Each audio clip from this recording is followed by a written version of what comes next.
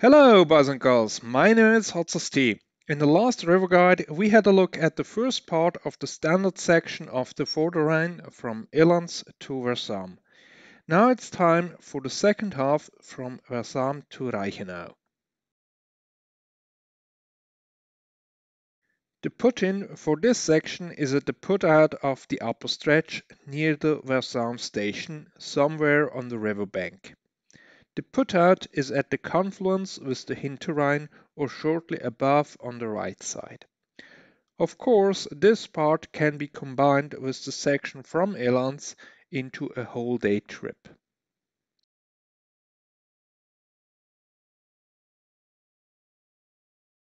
The difficulties on here are lesser than further up, while the landscape is at least as beautiful.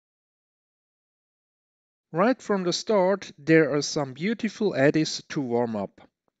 After some meters the river makes an S-bend which constantly changes based on water level and flow. Some lines can become quite tricky from one run to the next. Don't miss the large eddy under the rock wall in the first bend or the bathtub in the second one, which can be quite turbulent to get in and out. Now there is a bit of time to enjoy the landscape before the difficulties rise when the river turns left again. Stones from the left can change this stretch down to the train bridge just as much as different water levels.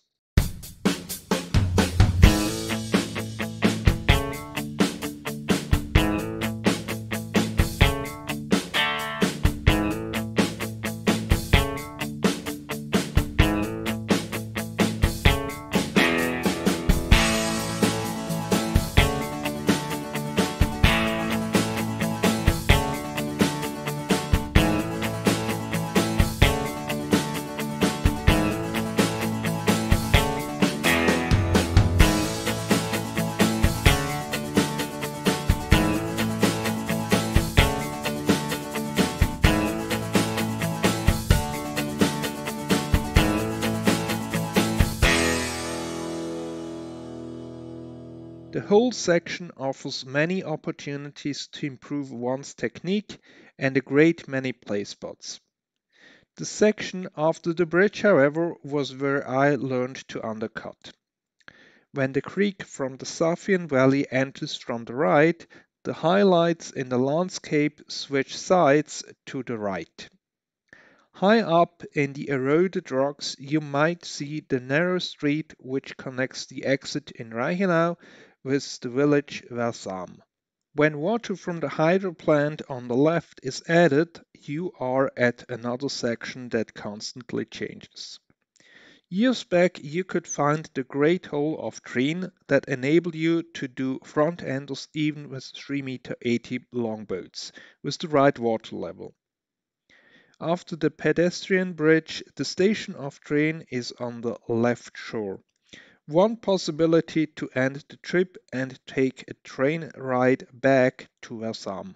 When the Vorderrhein takes a right turn, you can see a sign up on the right rock wall indicating the water levels of the two big floods in the last century. The level we have here is around 50 cubic meters, which is an excellent one for this early in the year. Floods that occur on a yearly basis bring the level up to about 200 cubic meters.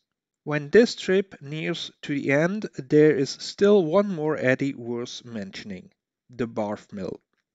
It is easy to get in, but at higher water level it is rotating fast and can be difficult to get out again into the main flow.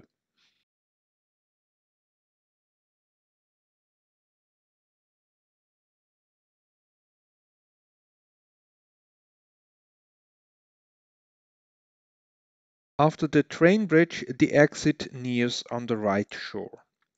If you are not yet tired, you might find some more fun spots along the left shore.